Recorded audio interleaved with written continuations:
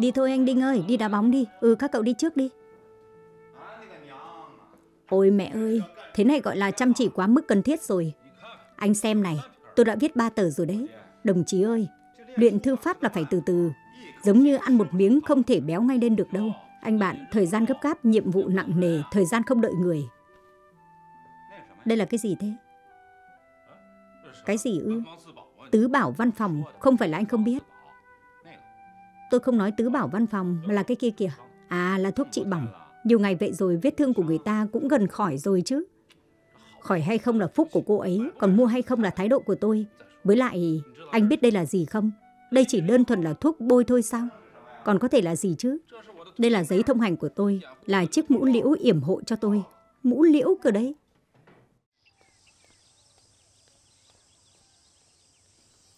Trung đoàn trưởng Giang.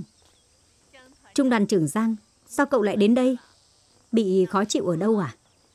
Sợ gặp ai thì y rằng gặp người đó. Trên đường em cứ cẩn thận tránh bóng dáng chị, không ngờ lại bị cái áo choàng trắng của chị làm cho lóa mắt. Sao cậu lại tránh tôi? Không phải lúc cậu nhờ tôi nối dây bắt cầu cho cậu nữa phải không? Đã nối dây bắt cầu xong mà vẫn phải phiền chị đến thì chẳng hóa là em chẳng có bản lĩnh gì ư. Kem chị bỏng sao? Chẳng phải lần trước ở nhà chị em làm người ta bị bỏng à? Làm hỏng cái gì thì phải đền cái đó đúng không? Đồng chí ơi, cậu mở to mắt ra nhìn xem chỗ này của chúng tôi là chỗ nào. Đây là bệnh viện, không cần cậu phải đi từ xa đến tặng thuốc. Xem bà mối như chị kìa, chị muốn chúng tôi thành đôi hay là không? Đúng là chư bắt giới không nhận sai, còn trách ngược người khác. Chị ơi, chị ơi, đừng đi. Đã gặp rồi thì chị đi với em một chuyến đi. Dù sao thì thêm người cũng thêm sức mạnh. Đi nha chị. Tiểu An. Tiểu An. Bí thư Dương. Trung đoàn trưởng Giang đến bệnh viện ta khám bệnh, tiện thể đến thăm em luôn. Cảm ơn anh, không có gì, tôi nên làm thế mà. Bí thư Dương, chị cười gì vậy? Em nói không đúng sao? Đúng đúng, cậu nói đúng. Chẳng phải cậu mang thuốc đến cho Tiểu An sao? Mau đưa cho cô ấy đi. Vâng vâng. Chị không nhắc suýt nữa thì em quên mất. Đây là thuốc trị bỏng. Chân em không sao chứ? Không sao. Mau cầm đi. Đây là tấm lòng của Trung đoàn trưởng Giang. Cảm ơn anh. Tiểu An, nhà em có điện thoại phải không nhỉ? Cho cậu ấy số điện thoại đi. Để tránh lúc hết giờ làm, cậu ấy không tìm được em. Số điện thoại nhà tôi là 3526. Đã nhớ chưa? Tốt nhất là em tìm tờ giấy ghi lại. Ghi giấy làm gì? Ghi vào tay là được rồi. Em không có bút. Tiểu An, đi lấy cho cậu ấy chiếc bút. Sao cậu ngốc thế? Đến số điện thoại cậu cũng không nhớ được. Như thế người ta thích cậu được sao? Em cũng không có cách nào. Cũng không biết tại sao gặp cô ấy là em lại căng thẳng, đầu óc cứ đơ ra ấy. Xem cậu toát mồ hôi kìa. Cậu sợ cô ấy gì chứ? Em cũng không biết. Chị nghĩ là em muốn thế ư? Vừa nãy chị nói gì nhỉ? Sao lại bảo em đến bệnh viện khám bệnh? Khám bệnh thì sao? Cô ấy lại nghĩ sức khỏe em không tốt. Trung đoàn trưởng Giang, cậu bảo tôi phải nói cậu thế nào đây? Chị đừng nói gì cả. Đây ạ. Được. Thôi, hai người nói chuyện đi, tôi đi trước nhé.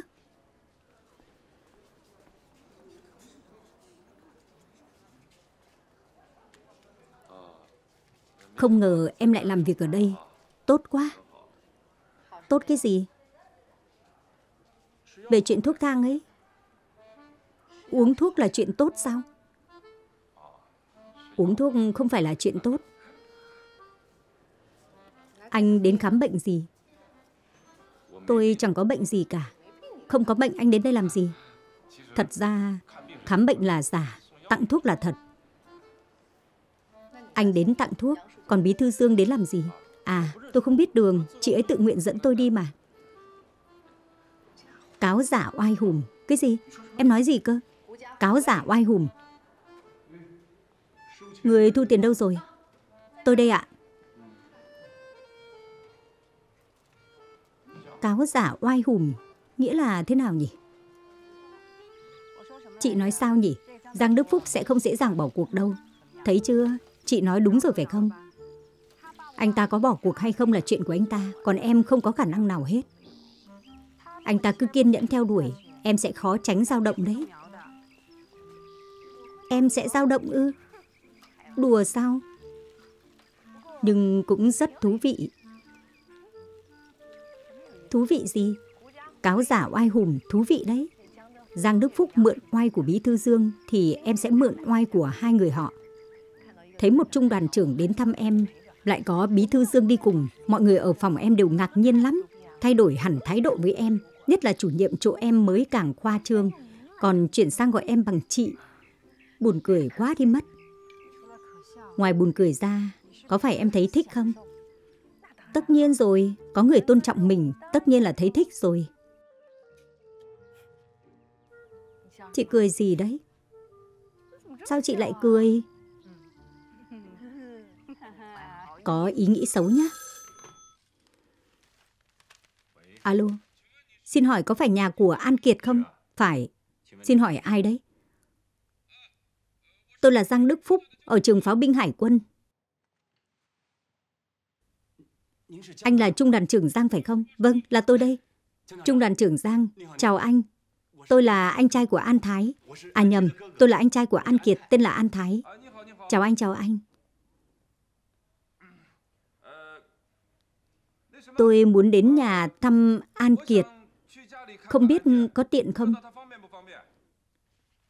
Tốt quá, Trung đoàn trưởng Giang, gia đình tôi rất hoan nghênh anh đến chơi. Để tôi gọi An Kiệt cho anh nhé. Anh chờ một chút. Em ơi,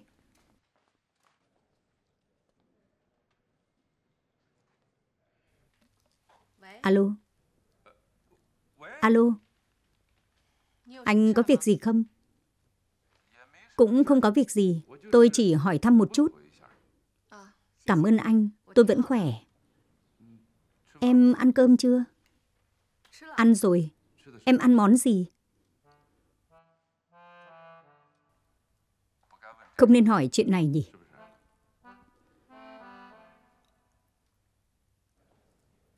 Alo. Alo. Em còn nghe máy không? Tôi đang nghe đây. Anh còn chuyện gì không? Ăn cơm thôi, ăn cơm thôi. Hóa ra em vẫn chưa ăn cơm. Vậy mau đi ăn đi. Tôi cúp máy nhé.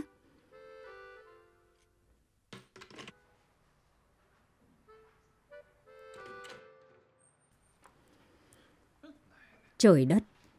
Đâu phải là con thỏ, rõ ràng là một con hổ. Dọa ông sợ quá. Sao em bất lịch sự thế?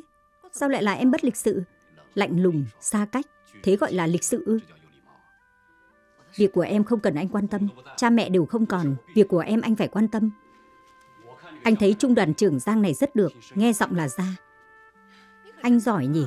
Nghe giọng là anh có thể biết người nào tốt người nào xấu. Không chỉ nghe giọng nói, còn có phán đoán tổng hợp nữa.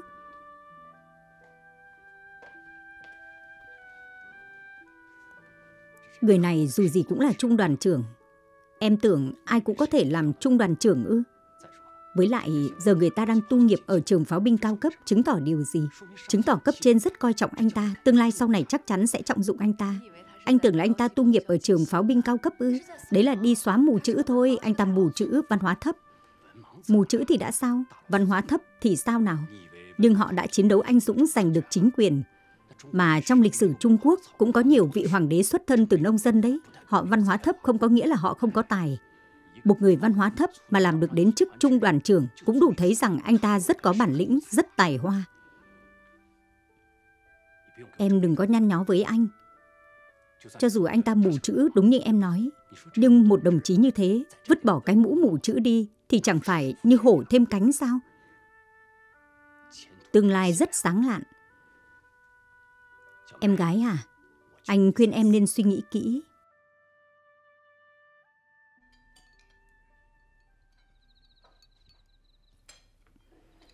Nào em gái, em gầy quá, ăn thêm thịt đi. Dạo này em bị nổi mụn không ăn thịt được. Em nấu canh đậu xanh đi, đậu xanh hạ hỏa.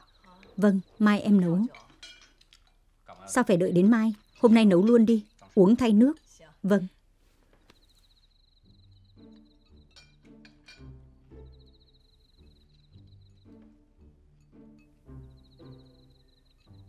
Em cười gì thế? Em vui mà. Anh chị tốt với em như vậy, em còn không vui sao? U Tôn bao giờ quay lại? U Tôn vừa gửi thư nói là đứa con trai nhỏ bị ngã gãy chân, chắc đến muộn một thời gian. Vậy chị dâu vất vả rồi, vừa phải nấu cơm, vừa phải nấu canh đậu xanh.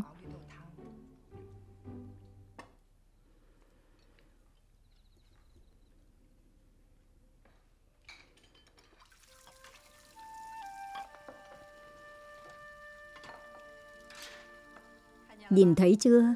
Đâu phải chỉ người ở phòng em thay đổi, ngay cả người nhà ta cũng thay đổi rồi.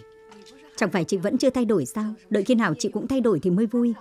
Khó nói lắm, đợi khi nào em thành phu nhân trung đoàn trưởng, có thể chị thay đổi thật đấy. Ai là phu nhân trung đoàn trưởng đấy?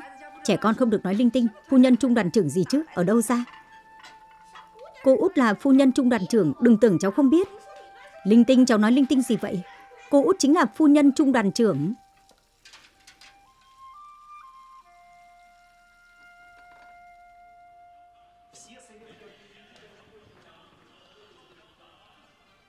Giang Đức Phúc, có. Hiệu trưởng, khi nào mới được ăn kẹo hỉ của cậu đấy? Còn chưa đâu vào đâu ăn kẹo hỉ gì chứ. Tôi nghe nói cậu rảnh rỗi là chạy đến bệnh viện hỏi thăm cô ấy, sao vẫn chưa đâu vào đâu? Anh chị cũng thật là, sao lại tìm cho em một cục xương khó gặm thế? Thảo nào vợ tôi bảo cậu tuổi lợn, chuyên trách ngược người khác. Thế nào, có cần cô ấy ra tay nữa không? Cũng được. Trời ơi, lại hóa ra chúng tôi cầu cạnh cậu ư.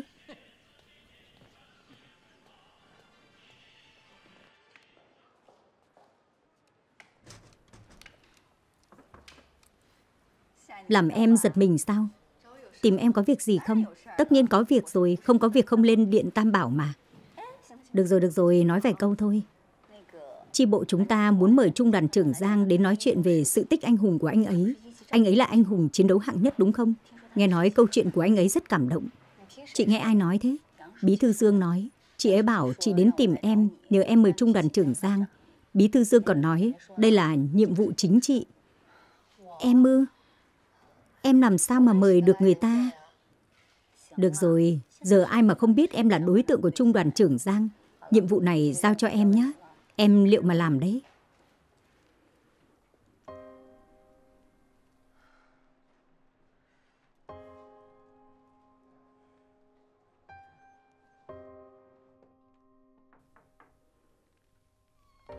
Chị. Chị viết thư cho anh rể sao? Ừ. Anh chị thích thật đấy. Có thể hồng nhạn đưa thư. Chữ của anh rể đẹp thật đấy. Chữ của ai không đẹp chứ? Chị đừng trêu em nữa. Mau nghĩ cách giúp em đi. Sao thế? Giang Đức Phúc lại làm phiền em ư? Không. Từ sau cuộc điện thoại lần trước, Anh ta không xuất hiện nữa. Thế tốt quá còn gì, em còn phiền lòng cái gì? Người ta không đến tìm em, e là em phải đi tìm người ta rồi. Tại sao? Bí thư chi bộ ở bệnh viện em muốn mời Giang Đức Phúc đến nói chuyện. Anh ta là anh hùng chiến đấu mà, còn là hạng nhất nữa. Thế thì đã sao? Liên quan gì đến em? Giờ mọi người trong viện đều nghĩ em và anh ta đang yêu nhau. Họ đều nói em là đối tượng của anh ta. Em không có mồm à? Em không thể giải thích rõ được sao? Em giải thích rồi nhưng họ không tin. Thế là vì em giải thích chưa đủ kiên quyết, chưa đủ triệt để. Nếu em từ chối bí thư chi bộ xem người ta có tin không? Em không từ chối. Với lại em cũng không dám từ chối. Bí thư Dương nói đây là nhiệm vụ chính trị. Nhiệm vụ chính trị có thể giao cho người xuất thân như nhà ta sao? Em định làm thế nào? Em cũng không biết. Em đang tìm chị bàn bạc đây còn gì Em gái Nếu em có ý với người ta Thì đi tìm người ta Nếu không có chút ý tứ gì Thì chị khuyên em không nên dây vào phiền phức này Em chỉ mời anh ta đến nói chuyện thôi Không có ý gì khác Vậy em đi mời với tư cách gì? Thì đấy, em cũng không biết nói thế nào. Ngày mai em đi gặp bí thư chi bộ nói thật ra, nói là em không có cách nào đi mời anh ta cả. Nhưng em... em hơi sợ chị ta. Với lại... với lại cái gì?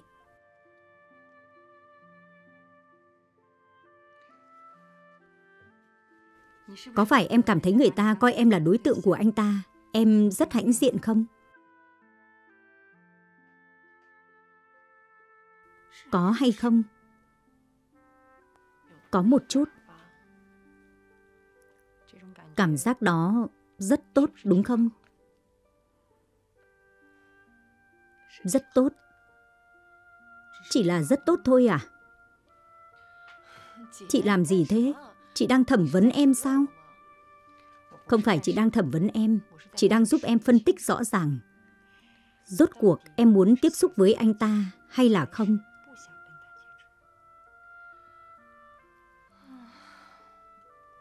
Em...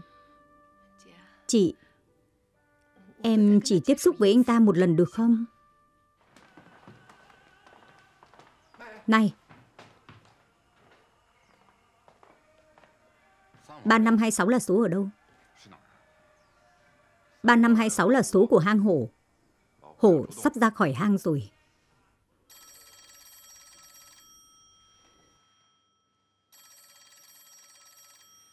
Nghe đi. Chị nghe đi, em không biết nói gì với anh ta. Chị nghe làm gì, chị là ai chứ? Chị nghe trước, sau đó đưa cho em, để tránh anh ta biết em đang đợi điện thoại của anh ta. Em cứ dở mấy cái trò vặt ấy nhỉ? Xong rồi. Chị xem, em bảo chị nghe luôn đi mà. Người ta cúp máy rồi phải không? Đừng vội. Cũng có thể không phải anh ta gọi đến, mà là người khác. Đừng vội, cứ đợi thêm lát nữa.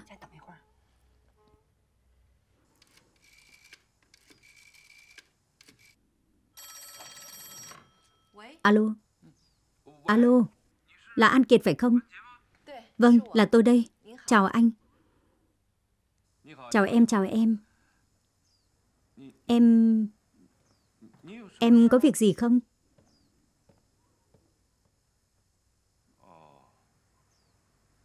Là chuyện đó sao? Được không? Anh xem được không? Vâng. Vậy tôi đợi điện thoại của anh. Ổn rồi chứ. Anh ta nói phải suy nghĩ đã. Nghe giọng điệu có vẻ không muốn đến. Anh ta đang nhử em thôi. Thế à? Em nghe giọng anh ta, có vẻ anh ta khó xử thật đấy. An Kiệt. Văn hóa thấp không có nghĩa là anh ta không có tâm kế. Văn hóa và tâm kế là hai chuyện khác nhau. Nghe chị nói vậy, em phải có cái nhìn khác về anh ta. Anh ta quả không đơn giản. Chị cũng phải có cái nhìn khác về em. Em cũng không hề đơn giản. Chị đang mỉa mai em sao? Chị đâu có tư cách mỉa mai em. Nói thật, đôi khi chị cũng giống anh trai và chị dâu. Mong em lấy được một người như thế, như vậy nhà ta sẽ có chỗ dựa. Nhưng... Nhưng gì cơ? Quá thiệt thòi cho em.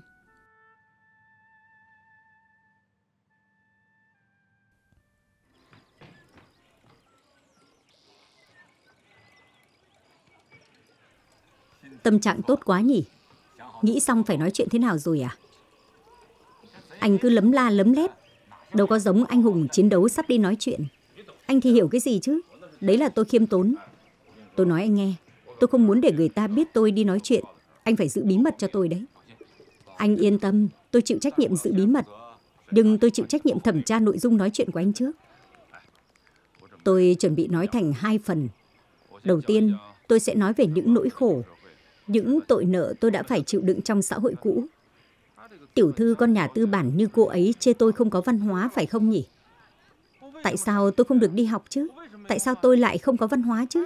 Chẳng phải vì sự bóc lột và áp bức của giai cấp bóc lột bọn họ sao? Đúng không? Tôi phải cho cô ấy nhận thức rõ ràng rằng trước đây tôi không được đi học, dẫn đến bây giờ không có văn hóa, có quan hệ trực tiếp tới giai cấp bóc lột bọn họ. Đúng, phải để cô ấy cảm thấy áy náy mà nảy sinh cảm giác tội lỗi lớn, không ngẩng đầu lên được trước mặt anh. Chỉ cần cô ấy không cắn tôi là được rồi. Hả? Đồng chí, yêu cầu của anh thấp quá rồi. Anh bạn, yêu cầu này có thực hiện được hay không còn chưa biết đâu.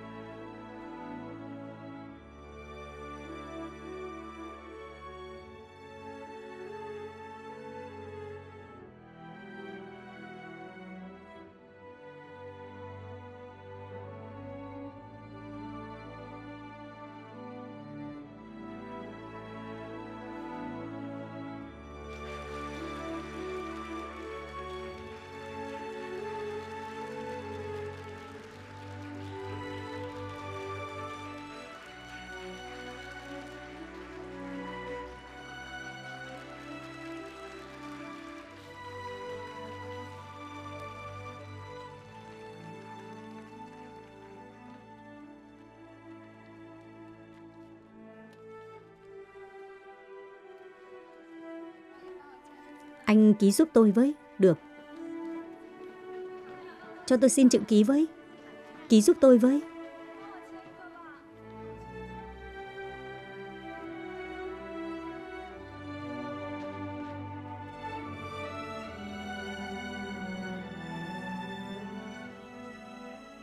Nhiệm vụ của em coi như tôi đã hoàn thành nhé. Vâng, cảm ơn anh. Tôi rất sợ em nói cảm ơn, câu nào em cũng cảm ơn, cứ như sắp bị em chặt làm tám khúc ấy. Lần này người ta cảm ơn là thật lòng. Vậy là em thừa nhận trước đây cảm ơn là giả dối ư? Đáng ghét. Là chữ của anh ta đây à? Anh ta tự tay viết sao? Anh ta tự viết trước bao nhiêu con mắt mà. Em vội gì chứ? Ai bảo chị không chịu tin người ta? Xem ra có người rung động rồi vì cái chữ đẹp này ư? Không chỉ là chữ, còn gì nữa? Còn... còn câu chuyện anh hùng của họ nữa. Anh ta dũng cảm lắm mà. Câu chuyện của anh ta cảm động lắm phải không? Anh ta không nói chuyện của anh ta, mà đều là chuyện của người khác. Chiến hữu của anh ta, chuyện của các liệt sĩ đã hy sinh. Anh ta nói mà ai cũng rưng rưng nước mắt. Quả là con người có tình, có nghĩa. Và thế là em bị lay động sâu sắc. Nếu là chị, chị cũng thế thôi, cũng sẽ bị lay động. Gái trẻ đã rung động. Xem ra có kịch hay để xem rồi. Chị nói gì thế? Chị nói ai?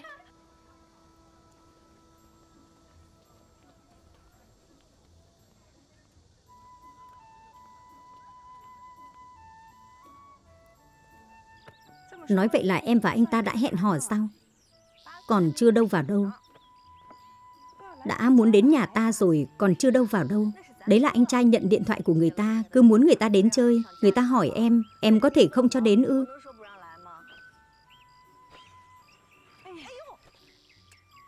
Chị làm gì thế? Chị hơi kích động. Cuối cùng có thể gặp Giang Đức Phúc của em rồi.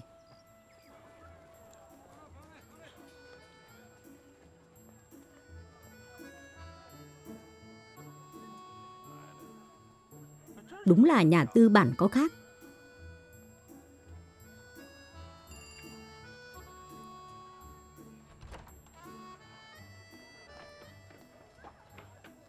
Cháu biết rồi, chú là chồng cô út. Chú đến rồi, chồng cô út đến rồi. Nó hết cái gì thế? Sao lại nhìn chị? Có phải chị dạy nó đâu? Còn đứng ngẩn ra đó làm gì? Không mau đi đón khách đi. Nhìn thấy chưa? Có người còn kích động hơn cả chị. Chị kích động ư? Đâu chỉ kích động chị giật mình vì được yêu chiều ấy chứ. Đồng chí giải phóng quân đến nhà ta chẳng phải nhà tranh thêm sáng ư? Chào mừng khách quý đến thăm. Đúng là nhà tranh thêm sáng rồi. Trung đoàn trưởng Giang, anh khách sáo quá. Mời vào trong nào, mời vào. Cảm ơn anh.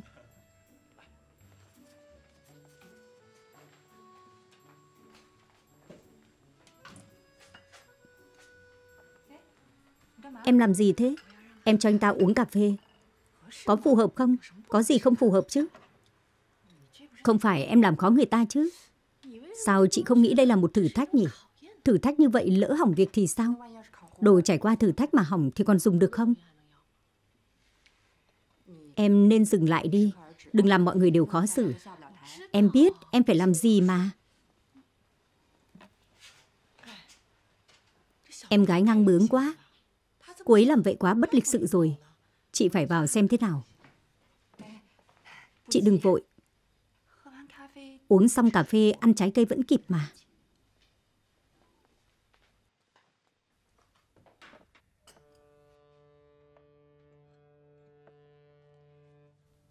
Mời anh.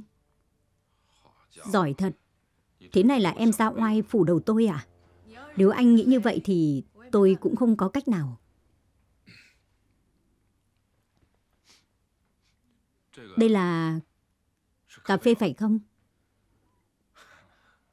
Em có thể dạy tôi cách uống không? Anh có thể cho thêm đường hoặc không? Có thể cho thêm sữa hoặc không? Anh tự quyết định đi. Thế à? Tôi có thể tự quyết định ư?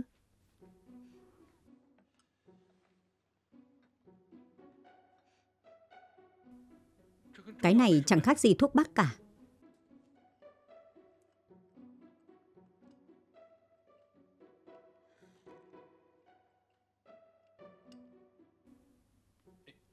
Thôi bỏ đi. Trung đoàn trưởng Giang, uống không ngon thì thôi. Cái này rất nhiều người uống không quen. Mau đổi cho trung đoàn trưởng tách trà đi. Không cần đâu. Tôi uống rồi, đừng lãng phí.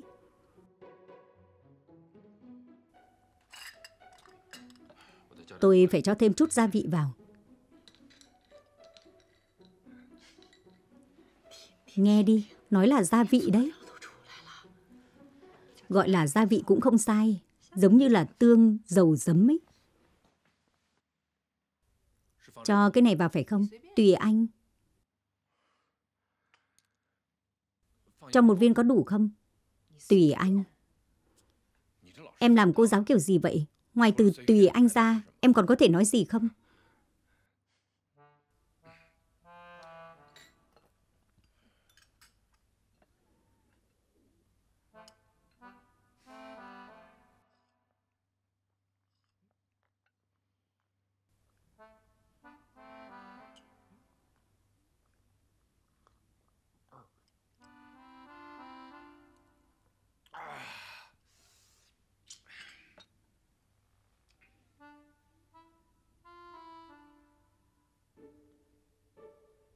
Tôi không thể uống như vậy sao? Tất nhiên không thể uống như vậy rồi.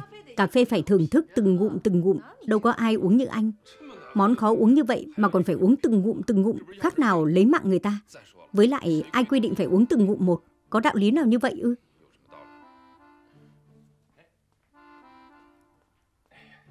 Trung đoàn trưởng Giang, anh đừng để bụng nhé. Cô ấy ngang bướng quen rồi.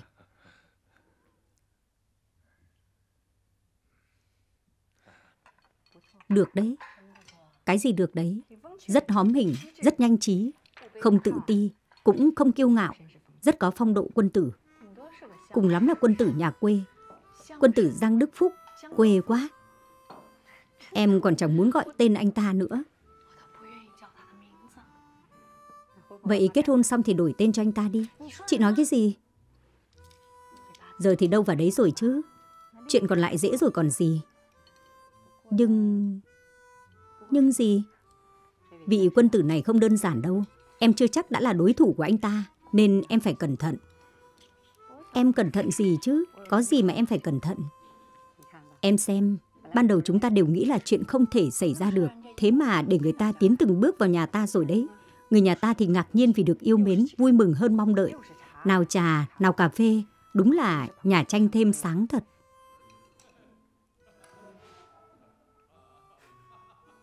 Nghe đi, người ta thuận buồm xuôi gió rồi đấy.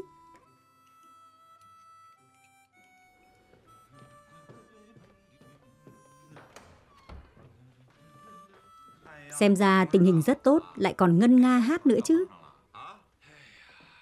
Tình hình không đến mức rất tốt, nhưng cũng tạm được.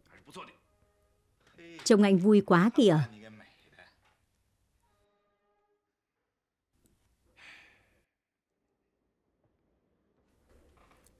Tình hình được mà, thở dài gì chứ.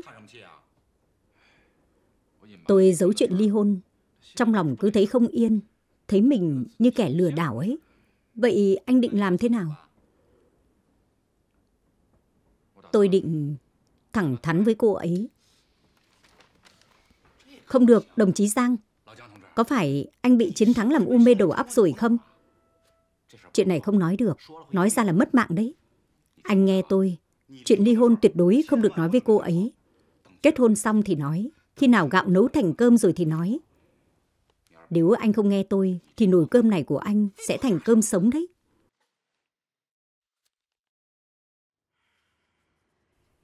Không ngờ em lại vào tình huống nhanh vậy. Em vào tình huống gì? Tình huống yêu đương. Chị, anh ta không giống người văn hóa thấp chút nào. Vừa thú vị, vừa hóm hình, cũng đặc biệt thông minh. Chuyện gì cũng vừa nói đã hiểu, vừa học đã biết. Chiều nay đi uống cà phê ở đâu? Đến phòng quốc tế ở trường anh ta, là nơi các chuyên gia Liên Xô uống cà phê. Anh ấy bảo có chuyện muốn nói với em. Chuyện rất quan trọng. Có chuyện muốn nói với em, còn là chuyện rất quan trọng nữa. Không phải định cầu hôn em chứ?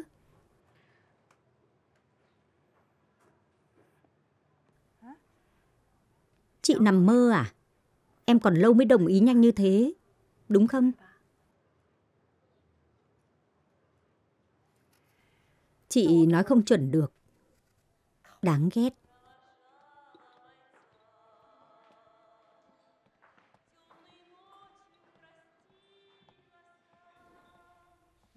Trường Anh còn có nơi cao cấp thế này nhỉ? Trường tôi có nhiều chỗ cao cấp lắm. Tất nhiên, chỗ này là cao cấp nhất rồi. Andrea, đồng chí Giang Đức Phúc chào anh, chào anh. Chào cô, rất vui được gặp cô. Tôi có hẹn, gặp anh lúc khác nhé, được được được. Sao em lại nhìn tôi như thế? Không ngờ anh còn biết nói tiếng Nga nữa. Em nghĩ tôi đi học uổng công à? Đây là trường pháo binh cao cấp đấy. Xóa mù chữ cũng là xóa kiểu cao cấp. Xin lỗi, cà phê của anh chị đây. Được. Thơm quá. Vẫn là cà phê mới pha thơm hơn. Ngon không? Nếu em thích, sau này tôi sẽ thường xuyên đưa em đến đây. Vâng, vậy tôi cảm ơn anh trước. Sao anh không uống đi? Tôi không uống, để dành cho em uống hết. Cà phê ngon thế này uống hai tách cũng là một niềm hạnh phúc. Em hạnh phúc không?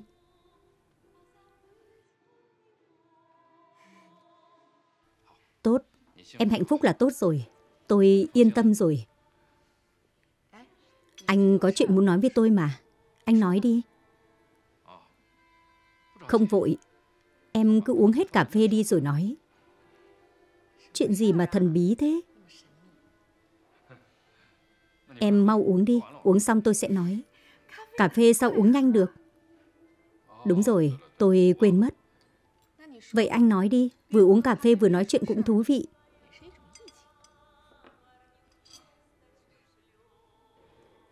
Nói đi, anh định nói chuyện gì với tôi? Chuyện đó... Rốt cuộc là chuyện gì? Khó nói thế à? Phải, phải. Có chút hơi khó nói.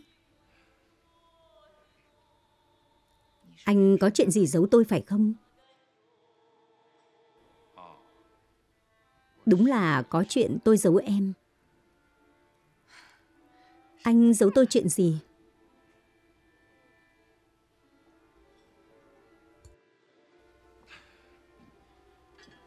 Tiểu An.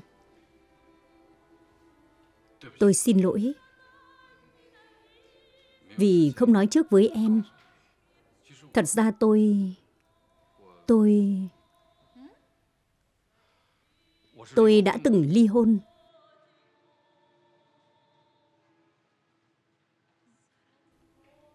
Cái gì? Anh đã từng kết hôn sao?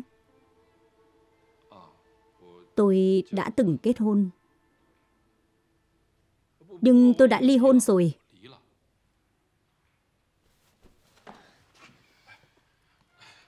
An Kiệt, em nghe tôi nói, ngồi xuống đã, anh là đồ lừa đảo. An Kiệt, em đừng đi. Anh ơi, anh chưa thanh toán. Tôi sẽ quay lại trả sau. An Kiệt.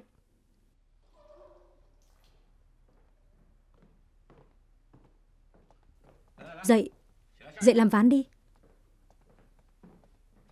Không chơi, muốn chơi anh tự chơi đi.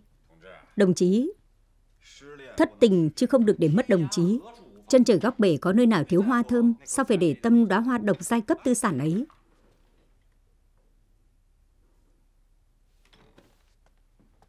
Nào, tức giận à? Bị người ta đá rồi còn bảo vệ à?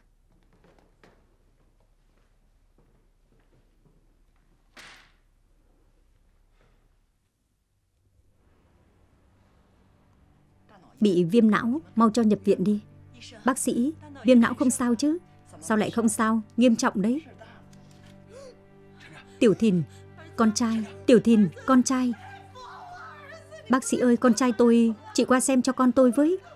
Sao thế, sao thế? Tôi không biết, nó co giật, cầu xin bác sĩ hãy cứu con trai tôi, cô ra ngoài đi, không tôi phải ở lại xem, cầu xin chị cho tôi ở lại. Không sao đâu, đợi ở ngoài đi.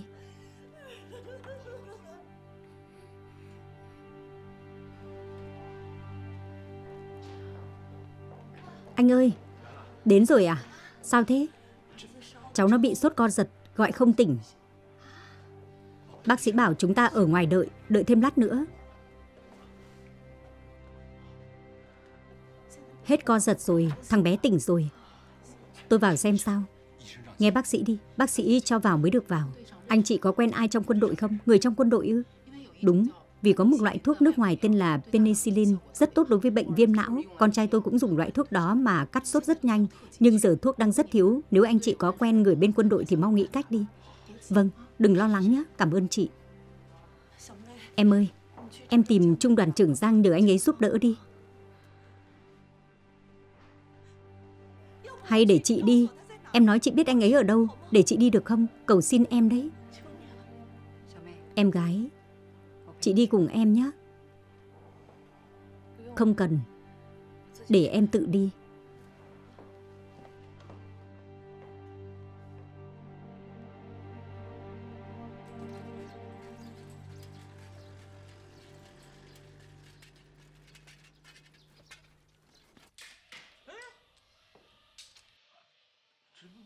Không được, không được. Quay lại, quay lại đi.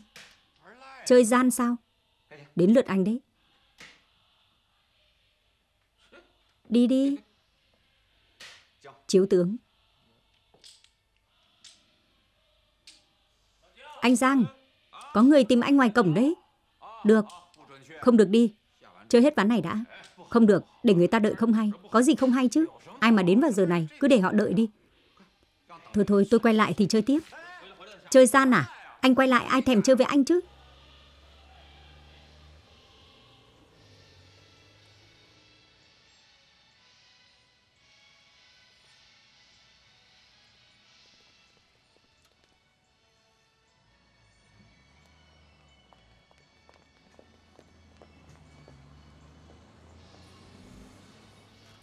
Ai tìm tôi thế? Cô gái kia.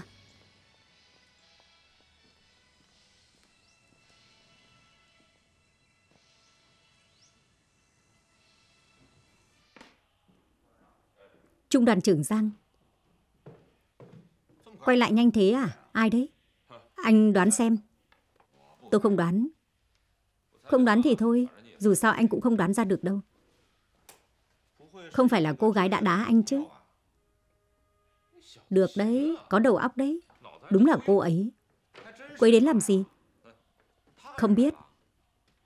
Lúc tôi ra thì cô ấy đã chạy rồi. Tôi chỉ nhìn thấy bóng lưng cô ấy. Ngựa cái đã muốn gặm lại cỏ. Đây là chuyện tốt.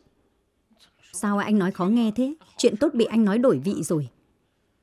Anh Giang này, theo tôi phân tích thì chuyện của hai người thành công đấy.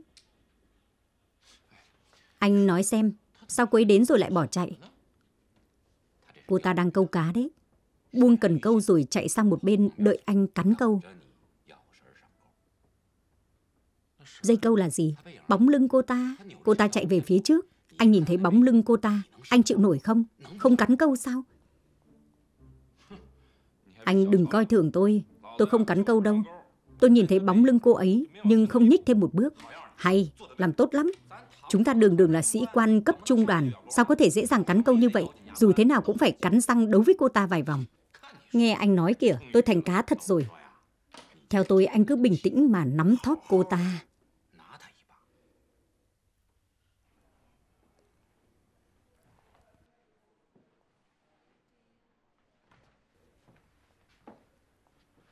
Người ta không chịu giúp sao? Không tìm được anh ta sao? Em bị câm à? Nói đi chứ. Em... Em không mở miệng được. Có gì mà không mở miệng được? Thể diện của em còn đáng giá hơn cả tính mạng của cháu em ư? Để chị đi nhé. Chị đi cầu xin trung đoàn trưởng Giang. Anh ấy là người tốt, chắc chắn sẽ giúp đỡ. Thôi để anh đi. Thể diện của anh không đáng giá.